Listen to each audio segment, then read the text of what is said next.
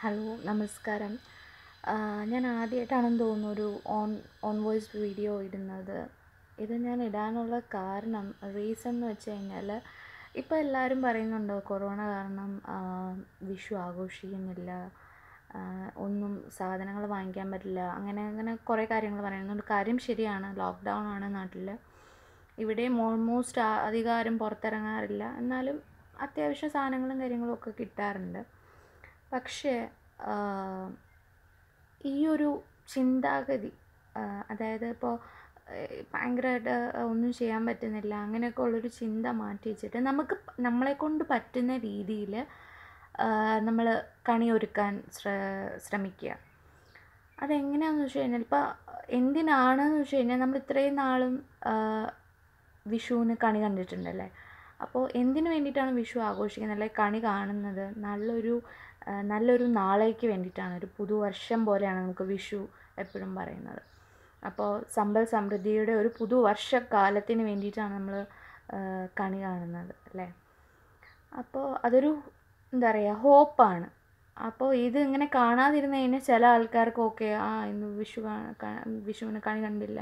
എന്തെങ്കിലും ഒരു നെഗറ്റീവ് സംഭവം സംഭവിച്ചു കഴിഞ്ഞാൽ നമ്മൾ കണി കാണാഞ്ഞിട്ടാണെന്ന് ചില ആൾക്കാർക്ക് ഇങ്ങനെ മനസ്സിൽ തോന്നും. തോന്നാൻ ചാൻസ് ഉണ്ട് എല്ലാവർക്കും നല്ല പറയണം വളരെ കുറച്ച് പേർക്കെങ്കിലും അങ്ങനെ തോന്നാൻ ചാൻസ് ഉണ്ട്.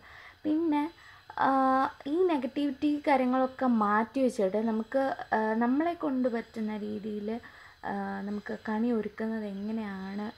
എന്തൊക്കെ പ്രിപ്പറേഷൻസ് ആണ് അതിന് എന്നൊക്കെയുള്ള കാര്യങ്ങൾ ഒന്ന് പറയാൻ വേണ്ടിയിട്ടാണ് ഞാൻ നിങ്ങളുടെ മുന്നിലേക്ക് ഇന്ന് വന്നിരിക്കുന്നത്. കഴിഞ്ഞ വർഷം ഞാൻ അത്യാവശ്യം നന്നായിട്ട് തന്നെ കണി കാര്യങ്ങളൊക്കെ ഒരുക്കും. കാരണം നമുക്ക് പുറത്ത് പോയി സാധനങ്ങളൊക്കെ വാങ്ങിക്കാറുണ്ടല്ലോ. അപ്പോൾ ഇപ്പം അങ്ങനെ പറ്റുന്നില്ല. എങ്കിലും നമുക്ക് വീട്ടിലുള്ള സാധനങ്ങൾ വെച്ചിട്ട് ഒരു ചെറിയ രീതിയിൽ കണി ഒരുക്കാം. പിന്നെ എന്താ പറയുക കൈനീട്ടം കൊടുക്കുക അല്ലെങ്കിൽ കൈനീട്ടം വാങ്ങിക്കുക അങ്ങനെയൊക്കെ ഉള്ള കാര്യങ്ങൾ ചെയ്യാം. അപ്പോൾ ഫസ്റ്റ് നമുക്ക് വേണ്ടത് ഓഫ് കോഴ്സ് നമുക്ക് കണിക്കൊന്നും ഇല്ലാത്ത വീടുകളായിരിക്കും കൂടുതലും. ഇന്ത്യയിൽ ഓക്കെ നമ്മുടെ നാട്ടിലുമൊക്കെ കണിക്കൊന്ന കേരളത്തിലൊക്കെ കണിക്കൊന്ന ഉണ്ട്. എന്നാലും എല്ലാവരുടെ വീട്ടിലും ഉണ്ടാവില്ല. ചിലർ അപ്പുറത്തും ഇപ്പുറത്തൊക്കെ പോയിട്ടായിരിക്കും പറിക്കുന്നത് അല്ലെങ്കിൽ പുറത്തുനിന്ന് വാങ്ങിക്കുമായിരിക്കും ചെയ്യുന്നത് പക്ഷേ ഈ പ്രാവശ്യം അതൊന്നും നടക്കില്ല. അതുകൊണ്ട് നമ്മൾ വീട്ടിലുള്ള പൂക്കൾ വെച്ചിട്ട് അഡ്ജസ്റ്റ് ചെയ്യുക അതായത് മഞ്ഞ പൂക്കൾ നിങ്ങൾക്ക് യൂസ് ചെയ്യാം. മഞ്ഞ പൂക്കൾ എടുത്ത് മീൻസ് കണിക്കൊന്നയാന്നുള്ള രീതിയിൽ വെക്കുക. ഇപ്പോൾ ഇവിടെ ഞങ്ങൾ എന്താ ചെയ്യുന്നത് വെച്ചാൽ കുഞ്ഞു കുഞ്ഞ് അടുത്ത് വീട് വീടിന് വിട്ട് പോയി പുറത്തുനിന്ന് പറിക്കാനല്ല വീട്ടിൽ തന്നെയുള്ള കുഞ്ഞു കുഞ്ഞു പൂ വെച്ചിട്ട് ഒരുക്കാനാണ് നമ്മളിപ്പോൾ ഞാനിപ്പോൾ പ്ലാൻ ചെയ്യുന്നത്. പിന്നെ തുളസി ഓൾമോസ്റ്റ് എല്ലാവരുടെയും വീട്ടിലുണ്ടാവും. തുളസി വെക്കുക തുളസിയും കൂടെ നമുക്ക് ഇങ്ങനെ വിളക്കിൽ വെക്കില്ലേ വിളക്കത്തിടത്തില്ലേ അതുപോലെ വെക്കുക പിന്നെ ഒരു മുണ്ട് നമ്മൾ സെറ്റ് സാരിയുടെയോ അല്ലെങ്കിൽ ഒരു മുണ്ടോ എന്തെങ്കിലും ഒരു കസവ് കറയുള്ള എന്തെങ്കിലും ഒരു സംഭവം വെക്കാൻ ശ്രമിക്കുക. ഇതില്ല എങ്കിൽ അതായത് അത് അലക്കി തേച്ച തുണി എന്നാണ് പറയുക. പക്ഷേ അതില്ല എങ്കിൽ നിങ്ങളൊരു പുതിയ തോർത്തെങ്കിലും വെക്കാൻ ശ്രമിക്കുക.